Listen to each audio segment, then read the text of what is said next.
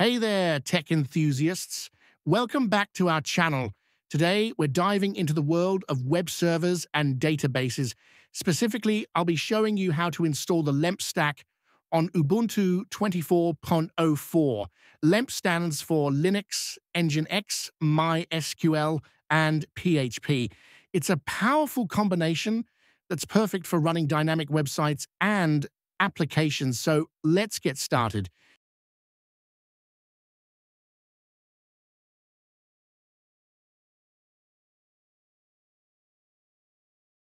First, let's update and upgrade our system to make sure we have the latest packages. Open your terminal and run the following commands.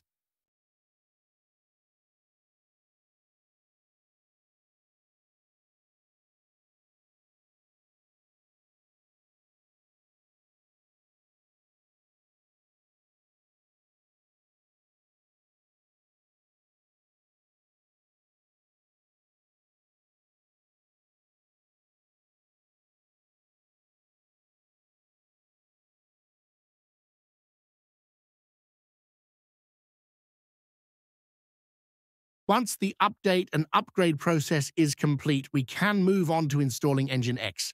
for Hyoanin. X is a high-performance web server. To install Nginx, type the following command.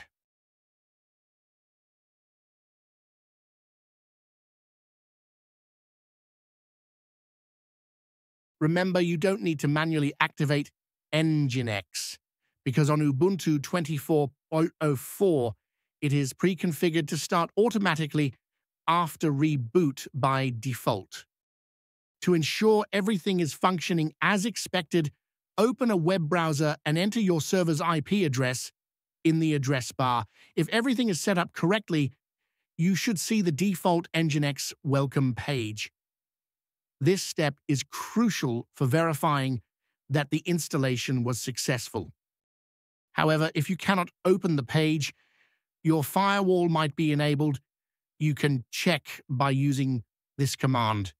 If it says active, then it is enabled. You can use this other command to open port 80 and port 3. Next, we'll install MariaDB, which is the database management system, run the following command to install MariaDB. MariaDB is an open source relational database management system that is a fork of MySQL. It was developed by the original developers of MySQL after concerns about Oracle Corporation's acquisition of MySQL. MariaDB aims to remain free and open source while providing additional features performance improvements, and enhanced security. Once installed, secure your MariaDB installation by running the following command. This command is used to improve the security of a MariaDB installation. This command runs a script that performs several recommended security-related tasks. Set the root password. If the root account does not have a password set, this script will prompt you to create one. This is crucial for securing the database from unauthorized access. Remove anonymous users. By default, MariaDB AD installations allows anonymous users to connect to the database. This script will prompt you to remove these anonymous users, which is a good security practice. Disallow root login remotely. The script gives you the option to disable remote root logins.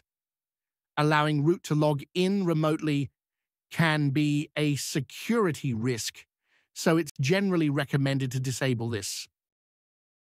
Remove the test database. MariaDB comes with a test database that anyone can access. This script will prompt you to remove the test database and its access rights, reducing potential security vulnerabilities. Finally, the script will prompt you to reload the privilege tables, ensuring that all the changes made take effect immediately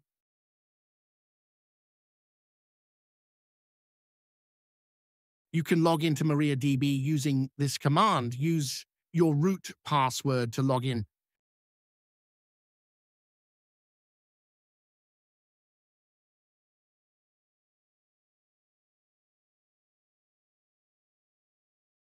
Installing the PHP scripting language is the final step to get your LEMP stack up and running on your Ubuntu 24.04 system.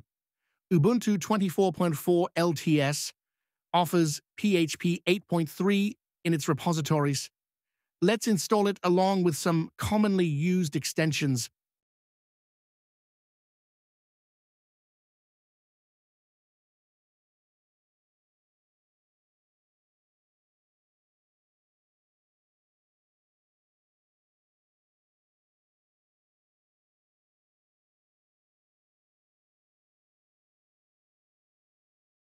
The PHP service will start automatically in the background. You can check its status. By running this command, press the letter Q to exit. Now, we need to configure Nginx to use PHP processor. Open the default server block file in a text editor. Look for the location block and make the following changes.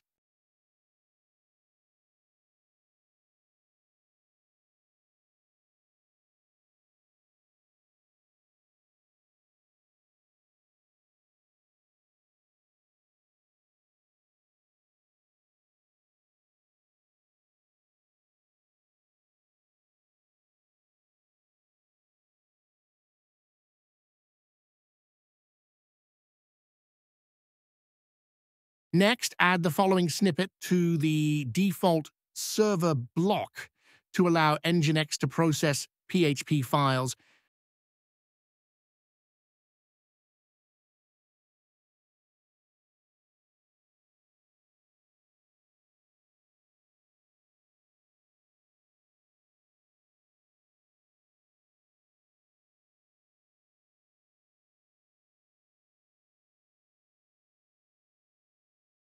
Save the file, and exit. Then test the modified Nginx configuration for syntax errors by running the following command.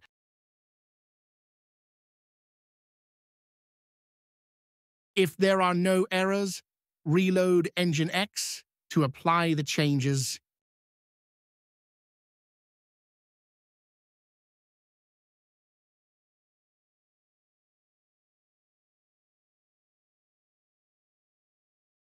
Finally, let's test our PHP setup. Create a PHP test file in the web root directory.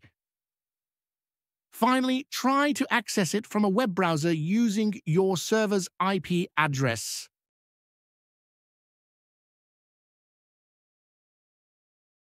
And that's it. You've successfully installed the LEMP stack on Ubuntu 24.04 LTS. Your server is now ready to host dynamic web applications. If you found this tutorial helpful, give it a thumbs up and don't forget to subscribe to our channel for more tech tutorials. Thanks for watching and see you next time.